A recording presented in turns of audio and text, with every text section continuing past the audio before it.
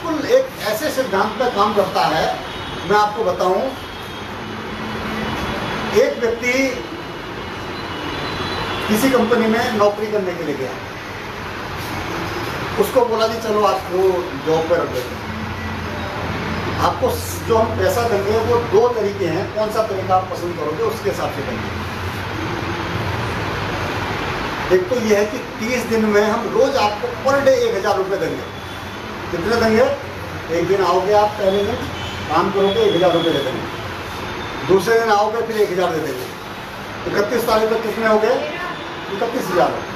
फिर अगले महीने, फिर वही तरीका, यानी कि इकतीस हज़ार रुपये सैलरी आपकी महीने की हो जाएगी। दूसरा तरीका ये है कि हम आपको पहले दिन एक पैसा देंगे। कितना पैसा?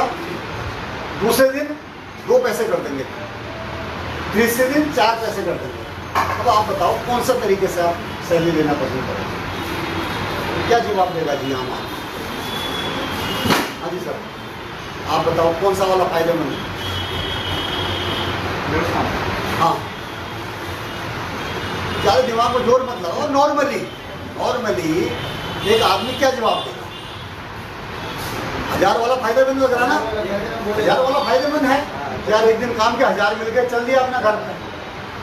अब एक पैसा अगले दिन दो पैसा तीस दिन चार पैसा आठ पैसा पंद्रह दिन तक तो रुपए में भी कन्वर्ट नहीं हो रहा हो।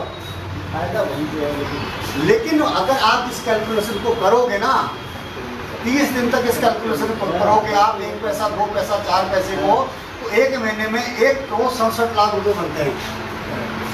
एक करोड़ सड़सठ लाख रुपए बनते हैं। इसको कहते हैं पावर ऑफ़ मल्टीप्लीकेशन और यहीं पर आम आदमी मार खा जाता है।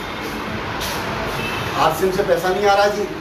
दो महीने हो गए, पाँच सौ रुपये आया। सैलरी तो मैं अपने काम से तो पच्चीस हज़ार कमा लेता हूँ।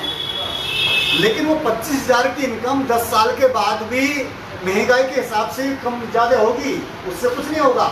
लेकिन ये 500 के चेक में इतनी ताकत है कि ये पाँच लाख में कन्वर्ट हो सकता आने वाले पाँच साल में।